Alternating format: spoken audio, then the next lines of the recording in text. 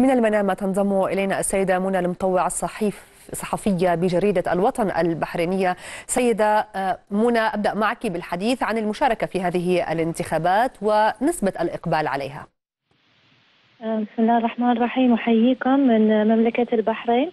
طبعا ولله الحمد نجد أن هذه الانتخابات تميزت بإقبال الناخب البحريني إلى جانب وعيه هناك مستوى عالي من الوعي لدى الناخب البحريني في الحرص على هذه المشاركة الإيجابية الوطنية وفي التفاعل مع هذا الاستحقاق الانتخابي الذي يعد محطة جديدة في تاريخ طبعا مملكة البحرين.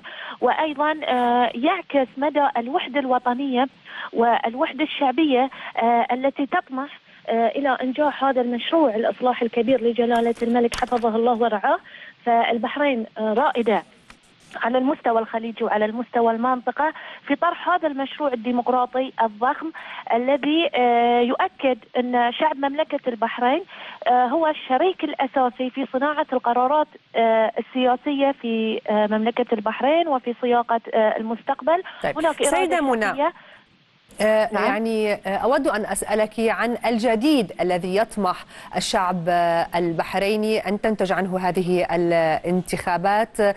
أيضا آه كما ذكر في التقرير نسبة الإقبال هذا العام آه فقط بكثير نسبة الإقبال في المرات السابقة. بماذا تفسرين ذلك؟ آه مثل ما قلت إن هناك وعي كبير لدى الشعب البحريني، هناك إرادة شعبية تطمح آه إلى التغيير، أيضا آه نصف الكتلة الانتخابية في هذا الموسم هي من النساء، لذلك نرى 41 مرشحة وهذا رقم جدا لافت للنظر على مستوى منطقة خليجية. لها عاداتها، لها تقاليدها، لها خصوصاتها خصوصياتها المجتمعية، أيضا انضم إلى الكتلة الانتخابية اليوم 50 ألف شاب وشابة يشاركون للمرة الأولى في هذه الانتخابات. لذلك نحن نلاحظ أن هناك إقبال كبير في نسبة المرشحين الشباب. والمحللين في الساحة البحرينية يؤكدون بأن هناك اتجاه في الرأي العام البحريني إلى تمكين الشباب في هذه المجالس تماشيا مع اتجاه دول الخليج ودول المنطقة إلى تمكين الشباب في المناصب القيادية. مما ينبأ ب بعد يوم التصويت هذا في حال وصول هؤلاء المرشحين الشباب هناك تحليلات ظهرت بأنه من الممكن أن تكون هناك كتلة شبابية داخل مجلس البرلمان مجلس النواب البحريني وهذه سابقة طبعا في تاريخ العمل البرلماني في مملكة البحرين.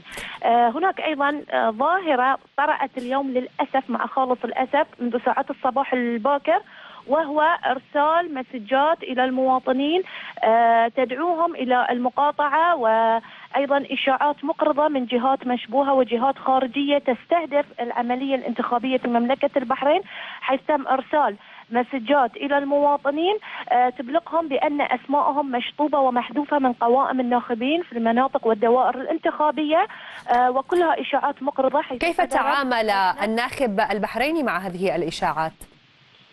هناك وعي كما أشرت لدى الناخب البحريني. خصوصا إن الأسبوع الفائت كان هناك كثير من المحاضرات التوعوية والتثقيفية في هذا الجانب بعدم الانصياع إلى هذه الجهات المشبوهة والرسائل الرسائل التي تؤثر على سير العملية الانتخابية في البحرين. شعب مملكة البحرين منذ ساعات الصباح الأولى كما مارس بالأمس الصمت الانتخابي مارس اليوم أيضا صمت انتخابي من نوع أشكرك آخر يا سيدة منى. تجاهل هذه الرسائل المقرضه شكرا جزيلا لك من المنامة منى المطوعه الصحفية بجريدة الوطن البحرينية